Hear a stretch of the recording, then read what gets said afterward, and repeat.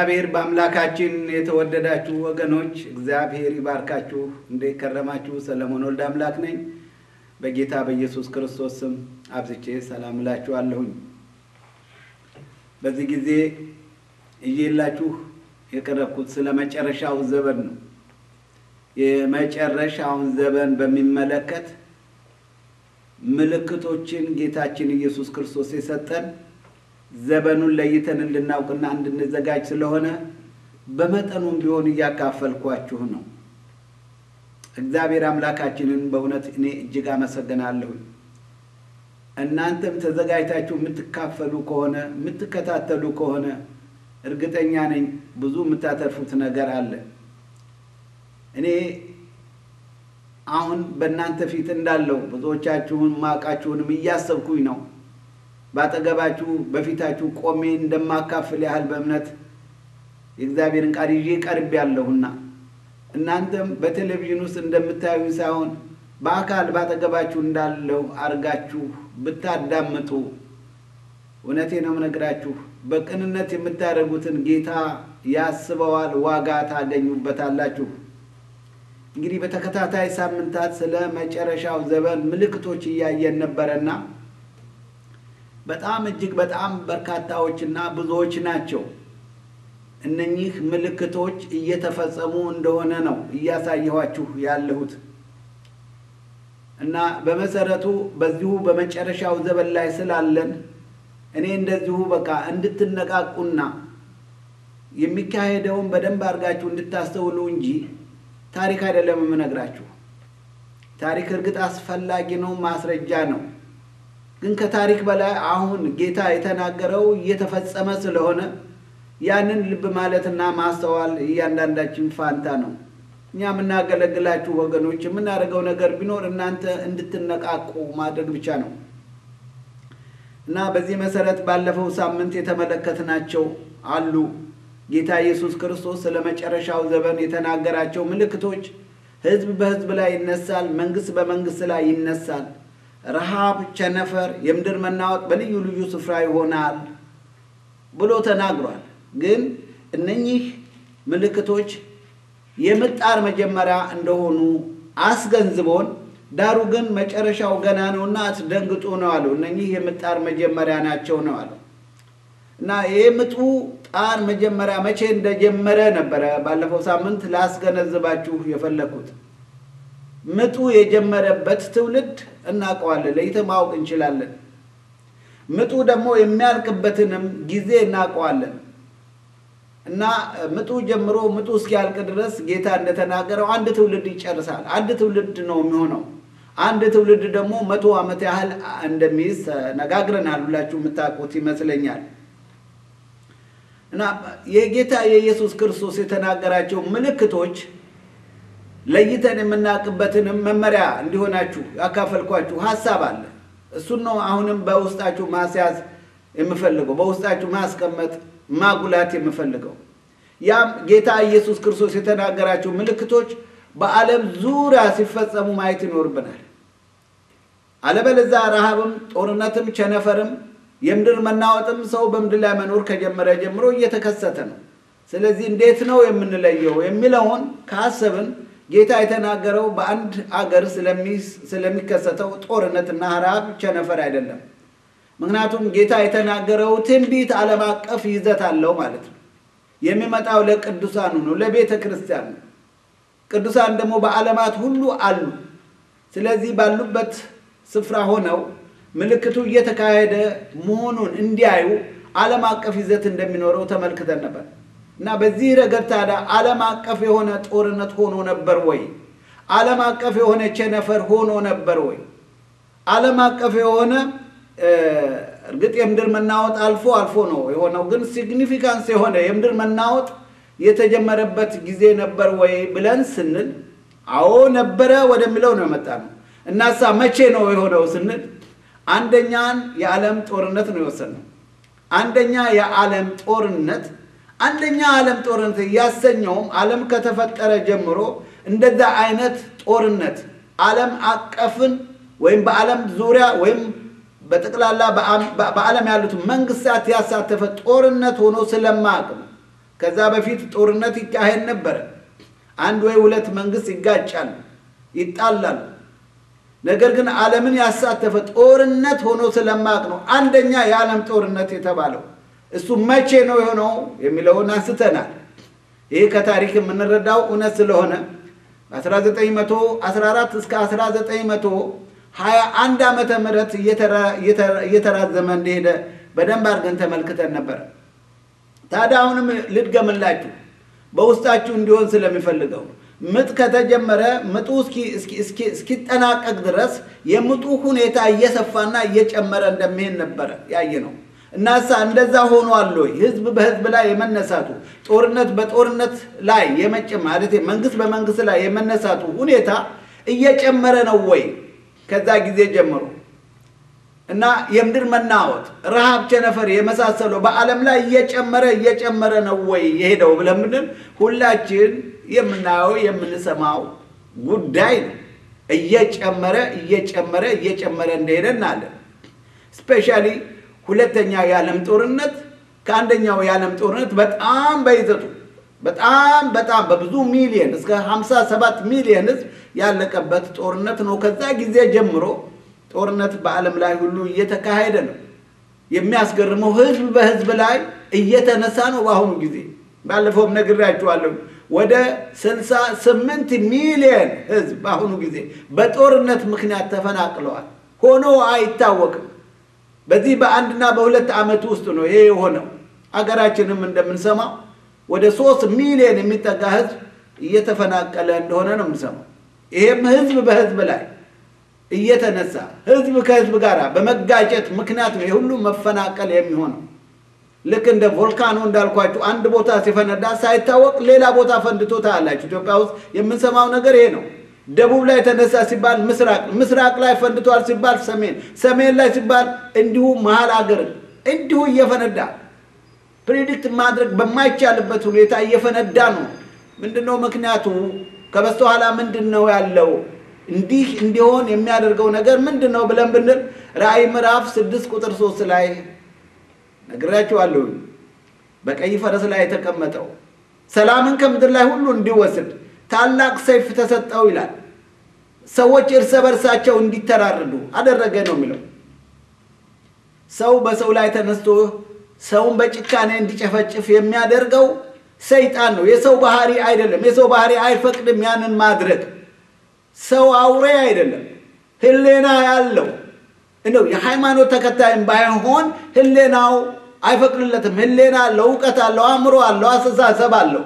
እንዲህ እንዲጨክን ያደረገው ነገር ምንድን ነው ብትሉ ከበስተኋላ ተጽዕኖ የሚያደርግበት ኃይል አለ። ያም ሰይጣን ዳቢሎስ ነው፣ የሰው ሁሉ ጠላት እና ዓለም ሁሉ በሰይጣን በዳቢሎስ በክፉ እንደተያዘ እግዚአብሔር ቃል ይናገራል።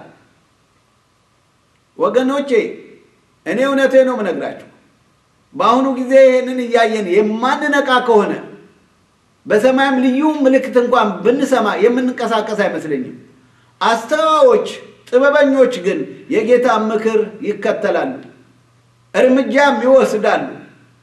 እና የሚወስዱት እርምጃ ምንድን ነው? ምንድን ነው መደረግ ያለበት ብትሉ ጌታ ኢየሱስ ክርስቶስ የተናገረው ነገር አለ። ይሄ ሁሉ ሲሆን ስታዩ ቤዛችሁ በደጅ እንደቀረበ አውቃችሁ አሻቅባችሁ ህዩ ነው የሚለው እና የክብር ተስፋችን የተባረከው ተስፋችን ጌታችን ኢየሱስ ክርስቶስ መምጫው እንደተቃረበ አውቀን ተስፋችንን በእሱ ላይ ጥለን እየተጋን ልንጠባበቀው ይገባናል። ይሄ ሲሆን ስታዩ ስትጸልዩ ትጉና ጸልዩ ነው ያለው። ምን ያህል እየተጋን እየጸለይን እንደሆነ አላውቅም። እንደውም አንዳንዱ ጌታ የተናገራቸው ምልክቶች ቀጥዬ የማካፍላችሁ ከዚህ ጋር የተያዘ ነው። ግን እናንተ የምታስተውሉ እግዚአብሔር ነገር የነካችሁና የገባችሁ ሰዎች ካላችሁ እባካችሁ ራሳችሁን አዘጋጁ። ለጌታ ኢየሱስ ክርስቶስ ምጽአት እንዘጋጅ። ከዚህ ጋር ተያይዞ ጌታ ኢየሱስ ክርስቶስ ሌላ የተናገረው ስድስተኛው የሐሰተኛ ክርስቶሶችና የሐሰተኛ ነቢያቶች መብዛት ጌታ ይህን ተናግሯል። እዚሁ ማቴዎስ ምዕራፍ 24 ቁጥር አምስት ቁጥር 11 እና ቁጥር 24 ላይ አነብላችኋለሁ። ጌታ የተናገረው ምዕራፍ 24 ቁጥር አምስት ላይ እንዲህ ብሏል። ብዙዎች እኔ ክርስቶስ ነኝ በማለት በስሜ ይመጣሉና ብዙዎችንም ያስታሉ። ብዙዎች እኔ ክርስቶስ ነኝ ብለው ይመጡና ብዙዎችን ያስታሉ። ቁጥር 11 ላይ እንደገና ብዙዎች ሐሰተኛ ነቢያት ይነሳሉ፣ ብዙዎችንም ያስታሉ ሐሰተኛ ነቢያቶችም ይነሳሉ፣ ብዙዎችንም ያስታሉ። ሐሰተኛ ክርስቶሶችም ይነሳሉ፣ ብዙዎችን ያስታሉ። ቁጥር 24 ላይ እንደገና ሐሰተኛ ክርስቶሶችና ሐሰተኛ ነቢያት ይነሳሉ፣ ቢቻላቸውም የተመረጡትን እስኪያስቱ ድረስ ታላላቅ ምልክቶችን ያደርጋሉ ነው የሚለው። አንድ ነገር ልንገራችሁ። የክርስትና እምነት ከተጀመረ ጀምሮ እስከ ቅርብ ጊዜ ድረስ እኔ ክርስቶስ ነኝ ብሎ በገሃድ የተነሳ አናቅም። ቢኖሩ ምናልባት ጥቂቶች ሊሆኑ ይችላሉ። በዚህ በሁለት ሺህ ዓመት ነው የምላችሁ። ነገር ግን ብዙ ሐሰተኛ ነቢያቶች ነበሩ ድሮ። የሐሰተኛ ክርስቶሶችን በሚመለከት በአሁኑ ጊዜ አሁን ጊዜ ታውቃላችሁ፣ በመቶ የሚቆጠሩ ሐሰተኛ ክርስቶሶች ቃል በቃል እኔ ክርስቶስ ነኝ ብለው የተነሷል። የሚያስገርም ነገር ነው ወገኖች፣ ሆኖ አያውቅም። ሐሰተኛ ነቢያቶችን በሚመለከት አስተምሬያለሁ ረዥም ሳምንታት ወስጄ። እንደ አሁን ጊዜ ነቢያት የበዙበት በተለይም ሐሰተኛ ነቢያት የበዙበት ዘመን የለም። ነግሬያችኋለሁ። ይህን በብሉይ ኪዳን ጊዜም ነቢያት ሐሰተኛ ነቢያቶች ነበሩ። በቤተ ክርስቲያን ዘመን ማለትም በአዲስ ኪዳን ዘመንም በአዲስ ኪዳን በመጀመሪያ ክፍለ ዘመንም ሐሰተኛ ነቢያት ነበሩ።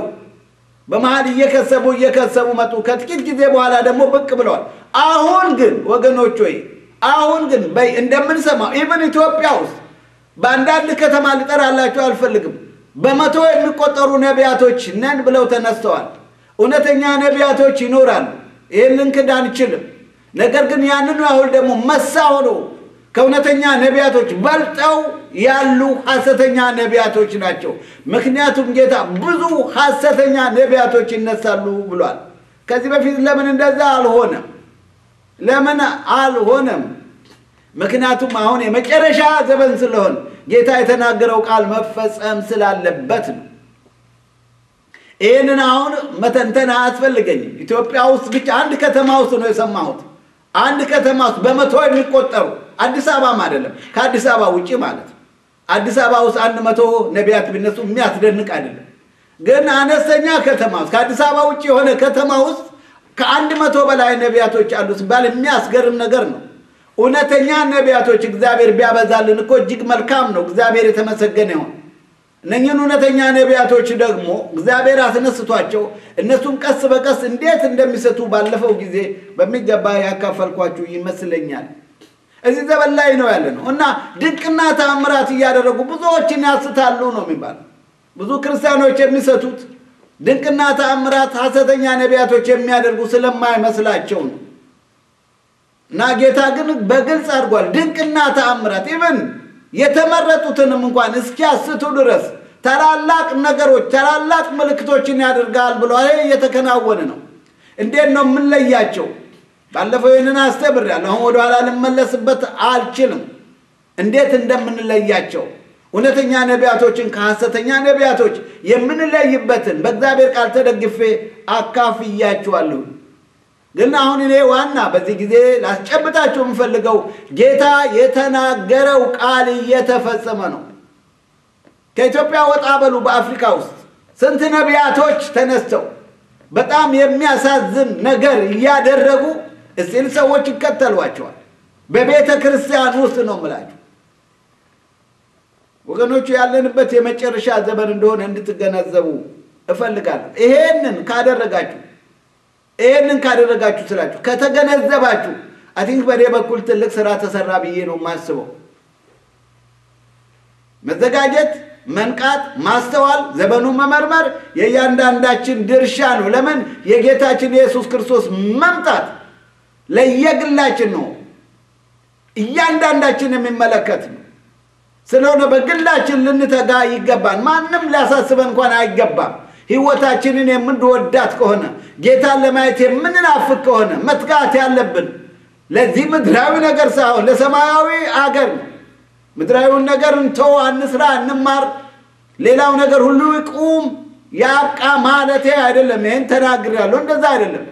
ይሄ ምድራዊ ነገር ምድራዊ ነገር ነው፣ ጊዜያዊ መሆኑን እያሰብን ነገር ግን ጌታ ኢየሱስ ክርስቶስ ይዞ የሚመጣልን መንግስት ዘላለማዊ መንግስት የማይናወጥ መንግስት መሆኑን አውቀን እኛም ወደ ሰማያዊ ሀገር ለዘላለም ሄደን እንደምንኖር እያወቅን ልንዘጋጅ ይገባናል ብያችኋለሁ። ከዚህ ጋር በተያያዘ ሁኔታ በሰባተኛ ደረጃ ደግሞ በክርስቲያኖች መካከል መለያየትም እንደሚሆን ተናግሯል። ሰባተኛው ሁኔታ በክርስቲያኖች መካከል በቤተ ክርስቲያን መካከል መለያየት፣ መከፋፋት፣ አልፎ መሰጣጣት እንዳለም እንደሚሆንም ተናግሯል። እዚሁ ማቴዎስ ምዕራፍ አራት ቁጥር አስር ላይ አነብላችኋለሁ በጌታ ስም። በዛን ጊዜ ብዙዎች ይሰናከላሉ፣ እርስ በርሳቸውም አሳልፈው ይሰጣጣሉ። እርስ በርሳቸው ማለት ነው ክርስቲያኖች እርስ በርሳቸው አሳልፈው ይሰጣጣሉ፣ ይጣላሉም ነው የሚለው።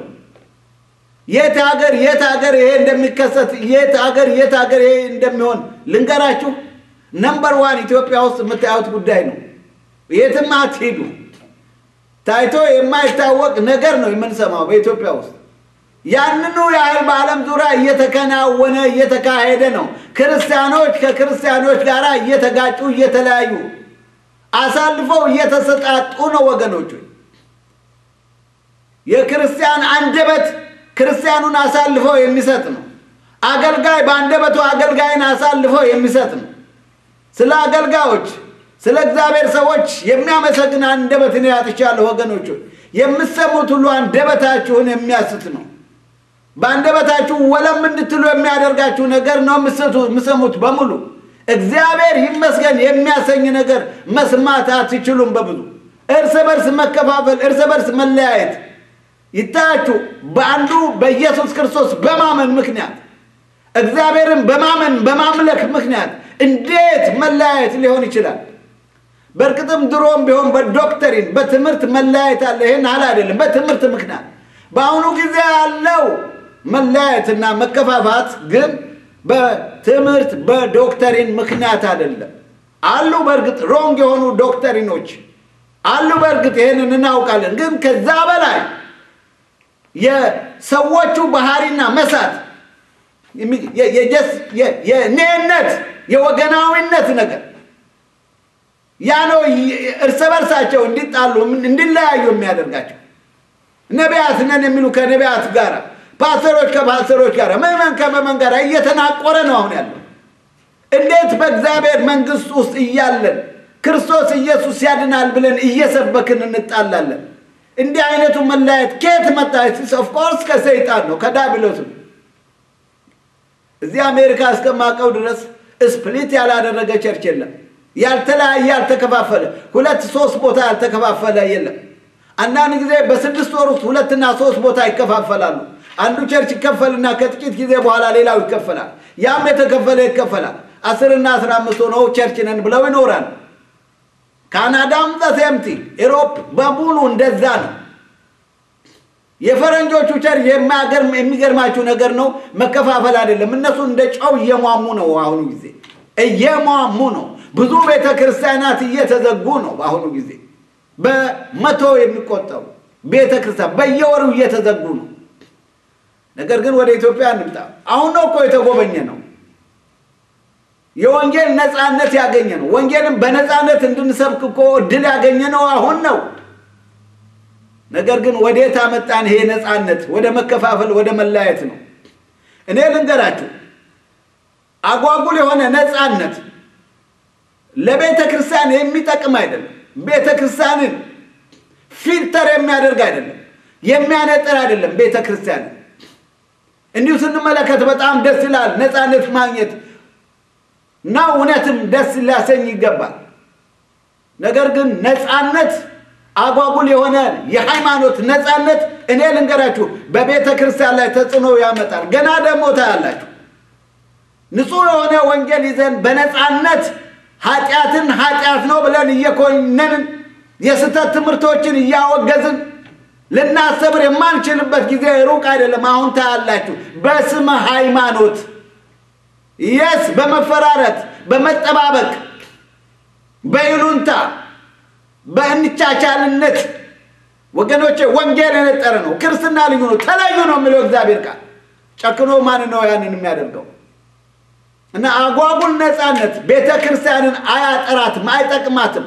የሚያጠራት እውነቴ ነው የምነግራችሁ ስደትና መከራ ነው። በስደትና በመከራ ያላለፋችሁ ሰዎች ይሄ አይጥማችሁ ይሆናል። ነፃነት ነፃነት ነፃነት ወገኖቹ አጓጉል የሆነ ነፃነት ቤተ ክርስቲያንን በእርሹ መረን እንድትሆን ነው የሚያደርጋት። ክርስቲያኖች መረን እንዲወጡ ነው የሚያደርጋቸው። በሃይማኖት ነፃነት ሰበብ ክርስቲያኖች ወገኖች ስፖይልድ እየሆኑ ነው። የስ መከራ ሲመጣ፣ ስደት ሲመጣ ሰዎች ወደ እግዚአብሔር ይቀርባሉ፣ ይተጋሉ፣ እግዚአብሔርን ይፈልጋሉ፣ አይዘናጉም። በደርግ ጊዜ ኖረናል፣ አገልግለናል። እዛ ነው ዘመኔን የጨረስኩት። በደርግ ጊዜ እዛ ነበርኩኝ። ታስሬያለሁም በወንጌል ምክንያት። በዚህ በጣም ደስ ይለኛል። እግዚአብሔርን አመሰግናለሁ። በዛን ጊዜ የነበሩ ክርስቲያኖች በሙሉ የነጠሩ ነበሩ፣ እንደ ወርቅ የነጠሩ ነበሩ፣ የተፈተኑ ነበረ። በእሳት በመከራ እሳት ውስጥ ያለፉ ነበሩ። ክርስቲያኖች የሆኑትን ሁሉ እናውቃቸው ነበረ። አሁን ማወቅ አንችልም። የጅምላ ክርስትና ነው አሁን ያለው ክርስትና፣ መረድ የሆነ ክርስትና፣ ስድነት የበዛበት ክርስትና። ዝም ብዬ አይደለም የምናገረው። የምሳዩት ነገር ለምን እንደማይቀፋችሁ አላለ። በእግዚአብሔር ቤት ውስጥ ስርዓተ አልበኝነት፣ በእግዚአብሔር ቤት ውስጥ ፉጨት፣ ስታዲየም እንደገቡ ያህል ያለ ስርዓት በእግዚአብሔር ቤት እያፏጩ እየፈነጩ እየጨፈሩ እንደፈለጋቸው የሚሆኑ እግዚአብሔርን የሚያውቁ እግዚአብሔርን ይፈራሉ። ወደ እግዚአብሔር ይቀርባሉ። በእግዚአብሔር ፊት ይንበረከካሉ። እግዚአብሔርን ያመልኩታል። ፉጨት ወገኖቹ በቤተ ክርስቲያን ውስጥ የሚደረግ አይደለም። ለዚህ ነው ሐዋርያ ጳውሎስ ጢሞቴዎስን ሰዎች በእግዚአብሔር ቤት ውስጥ እንዴት መመላለስ እንዳለባቸው ታውቅ ዘንድ ይህንን እጽፍልሃለሁ ይላል። ቤቱም የእግዚአብሔር ቤተ መቅደስ የእውነት አምድ ነው ይላል። የእውነት አምድ የእግዚአብሔር ቤተ ክርስቲያን የእግዚአብሔር ቤተ መቅደስ ነው። እውነት ሊፋለስ አይገባም። እግዚአብሔር ባካችሁ ወገኖች የስርዓት አምላክ ነው። ስርዓት የሚወድ አምላክ በሰማይም ስርዓት አለ። ራእይ ምዕራፍ አራትና አምስትን አንብቡ። በሰማይ ያለው አምልኮ ራሱ በመላእክቶች ዘንድ ያለው አምልኮ ራሱ ስርዓት አለው። ስርዓት ተቀትሎ ነው። እግዚአብሔር የተከበረ አምላክ ነው። ሁከትና ፉጨት የሚያንጽ አይደለም፣ የሚያውክ ነው። ኦ ወገኖች ሆይ እባካችሁ ተመለሱ፣ እባካችሁ ተመለሱ። የምትሰሙኝ ሰዎች እባካችሁ ታረሙ። ይሄ ያልተለመደ ነገር ነው። በቤተ ክርስቲያን ውስጥ ሊታይ የሚገባ አይደለም። ለምን ወደ ኦርቶዶክስ ቤተ ክርስቲያን ሄዳችሁ አታዩ? እንዲህ አይነት ነገር አሰሙም አታዩ? የእሱ እውነቴን ነው። ወደ መስጊድ ለምን ሄዳችሁ አታዩ? እንዲህ አይነት ነገር አታዩ? አሰሙም ነው የምነግራችሁ። ወደ ካቶሊክ ቤተ ክርስቲያን ሂዱ። የለም እንዲህ አይነት ፉጨት፣ እንዲህ አይነት መፈጨትና መጨፈር። ኢሳያስ እንደውም በመድረክ ላይ ለሚጨፍሩ ወዮላቸው ነው የሚለው። ወገኖቿ ይሄ ነፃነት ወዴት ነው ያመጣን ብትሉ ወደ መያያዝ አይደለም ያመጣን፣ ወደ መከፋፈል ነው ያመጣን። ያልተፈተኑ ሰዎች እንደ ቢዝነስ እየቆጠሩ ቤተ ክርስቲያን በየቦታው ይተክላሉ። በእውነት ከቅንዓት እግዚአብሔርን ከመፍራት ወንጌልን ከማዳረስ አኳያ ቢደረግ እጅግ መልካም ነው፣ ይደገፋል። ግን ብዙዎቹ ኑሮ አድርገውታል፣ መተዳደሪያ አድርገውታል። ይሄ ወዴት አመጣን ብትሉ ወዴት ነው ያመጣን? ወደ አንድነት፣ ወደ መያያዝ፣ ወደ መከባበር፣ አብሮ ወደ መሆን አይደለም። ወደ መከፋፈል፣ ወደ መለያየት፣ ወደ መጣላት ነው። ይህን ነው ጌታ ኢየሱስ ክርስቶስ እዚህ ጋር የተናገረው። ይጣላሉ፣ ይለያያሉ፣ አልፈው ይሰጣጣሉ ነው የሚለው። የሚያሳዝን ነገር ነው። ይህ እጅግ የሚያሳዝን ነው። ይኸውም ይሰጣጣሉ። ኢትዮጵያ ውስጥ እኮ የምትሰሙት ነው። ያስ ቤተ ክርስቲያን ከቤተ ክርስቲያን ጋራ እየተካሰሱ ፍርድ ቤት ባለፈው ጊዜ ሄጄ ነበርና የሚያሳዝን ነገር ነው። በመቶ የሚቆጠሩ even በሺ የሚቆጠሩ ፋይሎች አሉ እየተካሰሱ ማለት ነው። ቤተ ክርስቲያን ከቤተ ክርስቲያን ጋር ስለ ግለሰቦች አይደለም እነግራችሁ። in the name of the church በቤተ ክርስቲያን ስም በቤተ ክርስቲያን ምክንያት ቤተ ክርስቲያን ቤተ ክርስቲያንን እያሳደደች ነው ያለው። ይሄ እንደዚህ የሚያሳፍር ነገር ከየት መጣ? ሰይጣን ዳብሎስ ባላጋራችን ነው። ይሄን ብናቅ ኖሮ በአንድነት በተያያዝን በተዋጋ ነው። አንድ እንደ ክርስቶስ ወታደር ሆነን በተዋጋን ሰይጣንን ዲያብሎስን በተቃወምን ነበር።